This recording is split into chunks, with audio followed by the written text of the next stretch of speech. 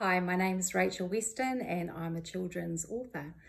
September last year, 2019, my first book came out, which is called Bumblebees Have Smelly Feet. This is a non-fiction children's book, all about bumblebees and what they do, their life cycle, and all about them. This is an example. Second book I have out, which February this year came out, is called Hello Kia ora, Welcome New Friend. And this is for preschoolers from 0 to 5. And this picture book is all about your first day starting at kindy or preschool and how you feel quite nervous on your first day not knowing anyone and how the children and the teacher make Ruby feel welcome in her new kindergarten family.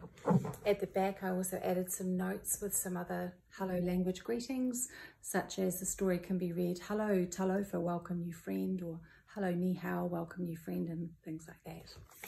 The third book I have coming out is October this year. and It's another children's picture book. It's called Boo Goes Tutti Frutti and this is just a fun story about a dog who's home alone and hungry and he gets into the fruit bowl, um, tries out all the fruit, causes mayhem in the house and a mess and um, finds out which fruit he loves the best. So that's my books. Um, my writing tip for story writing is to write things down. Write story ideas down and it might be just a fun sounding word or it might be a sentence that you've heard somewhere or you might overhear someone's name that sounds really cool that you haven't heard before and that might be a, a good idea for a character's name in your story. I've got three New Zealand author books here for an example for that and this one's called Sniff, Snuff, Snap and this is by Lynley Dodd and the story repeats those words in there, sniff, snuff, snap, which is quite catchy and quite fun for children.